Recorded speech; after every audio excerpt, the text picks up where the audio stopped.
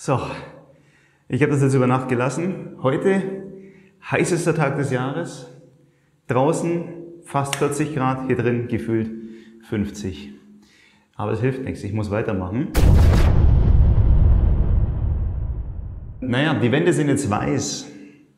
Schaut frisch aus, könnte ein Büro werden. Aber ich will nicht, dass es ein Büro wird. Es soll ein schönes Zimmer werden. Es soll ein schönes Zimmer werden, weil hier soll jemand rein, der uns später ganz arg am Herzen liegt. Und deswegen muss das Zimmer schön werden. Schön wird's mit ein bisschen Farbe. Hier haben wir schon eine Farbe hingehängt, die wir uns rausgesucht haben. Und zwar, die Farbe nennt sich Steinblaue Schönheit. Ein elegantes Blaugrau. Es ist eine Farbe von Alpina, die haben wir im Baumarkt ums Eck besorgt. Ich probiere das jetzt aus, wie das ausschaut. Wir machen damit alle Wände, aber nicht bis ganz unter die Decke. Wir wollen 10 cm unter der Decke noch weiß. Wenn man die später auch noch weiße Sockelleisten, dann schwebt dieses Blau so ein bisschen in diesem Zimmer. Da kommt noch weiße Möbel davor. Wird super ausschauen. Ähm, Problem ist, ich muss mir das abkleben, weil so perfekt kriege ich es dann auch nicht hin. Jetzt kann ich das hier nehmen, normales Kreppklebeband. Das hat allerdings die Eigenschaft, dass es A, sehr gut klebt und meistens mehr mitnimmt, als es als mir lieb ist. Also bei mir zumindest. Wenn es bei euch anders ist, ist mir das recht. Ähm, aber es ist jetzt nicht unbedingt für feine Abklebung, wo ich danach eine scharfe Kante haben will, geeignet. Das ist zum groben Abkleben. Gibt so Spezialtapes, so Frogtape und sowas. Braucht man nicht. Goldband aus dem Farbfachhandel tut's dafür perfekt. Das ist nämlich genau für sowas, um Konturen abzukleben. Und das nehme ich jetzt dafür her. Und dazu gleich noch ein kleiner Tipp, den ich heute auch erst oder gestern, wo ich das Zeug geholt habe, auch noch gelernt habe. Wenn die Wand etwas rauer ist, meine sind sehr glatt, bin ich sehr dankbar dafür, aber wenn die Wand etwas rauer ist, dann klebe ich das alles ab. Und wenn ich das alles abgeklebt habe, mit dem Pinsel hier und weiß nochmal ganz fein über die Kante, über die ich streichen möchte, wo später genau ganz scharf sein soll, nur ganz dünn mit der Farbe, Lass das kurz trocknen, weil die Farbe versiegelt es dann. dann kann ich hier mit meinem Blau durchjagen, bei dem ich hoffentlich bei dem schönen sauberen Untergrund nur noch eine Lage brauche und nicht zweimal streichen. Das ist aber ganz wichtig, äh, nicht erst warten, bis die Wandfarbe dann wieder in drei Tagen trocken ist und versuchen, das Klebeband dann wegzukriegen. Nee, gleich abziehen, solange die Farbe noch nass ist, weil dann ist auch das Weiß drunter wieder ganz leicht angesaugt und dann bricht das ganz sauber, zumindest so in der grauen Theorie, in der grauen Theorie, so wurde es mir erklärt. Ob das so funktioniert und vor allem bei mir, ob das so funktioniert, das steht auf einem ganz anderen Blatt Papier. Ich klebe das jetzt mal ab und dann streiche ich, ich hole euch ein paar Mal mit rein. Jetzt habe ich wirklich genug gelabert. Das ist eine ganz schlechte Angewohnheit von mir. Los geht's!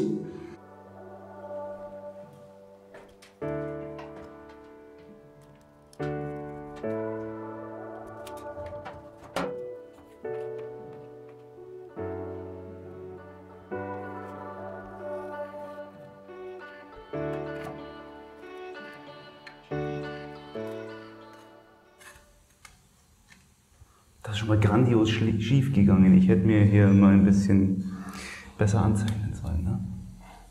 Von vorne.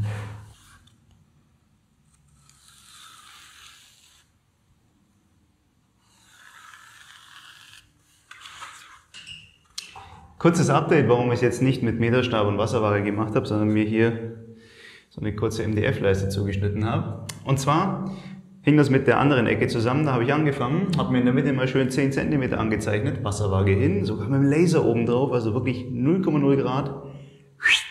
Linie gezogen und festgestellt, mir wird schlecht, wenn ich das anschaue. Warum? In der einen Ecke, also in der Mitte hatte ich 10 cm, in der anderen Ecke hatte ich dann noch 9,5 und in der anderen Ecke hatte ich schon 11. Womit wir wieder bei dem Thema wären, die Decken sind einfach nicht gerade. Es ist ein Altbau. Deswegen, und weil es für das Auge schöner ist, finde ich zumindest, habe ich mir jetzt hier so eine Abstandsleiste gemacht und kann mir jetzt damit, unabhängig von der Ungeradheit der Decke, immer schön anzeichnen, meine Bordüre oben. Und am Schluss merkt es keiner, weil das Auge sieht die Kante und die Kante und sagt, hey, die sind ja parallel, also muss das alles im Wasser sein. Wenn ich jetzt natürlich einen Schrank mit genau 2,40 Meter davor stelle, werde ich sehen, dass die Linie krumm und bucklig ist. Ich habe aber keinen Schrank mit 2,40 Meter, also kein Problem für mich. In dem Fall ist mir mein Auge wichtiger, dass ich nicht in Ohnmacht falle, wenn ich jetzt mitrede. Also, fertig zeichnen. Dann geht's ans Abkleben.